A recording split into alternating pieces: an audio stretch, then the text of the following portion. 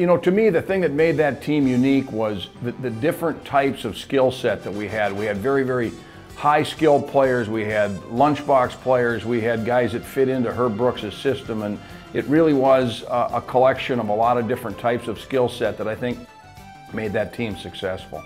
You know, clearly when I think back to that team, uh, there were so many players that stood out that, that were just excellent hockey players. But, you know, Bill Baker was a teammate of mine from Grand Rapids, the captain of that team. We had Steve Janaszak was a senior goaltender. Rob McClanahan. Eric Strobel.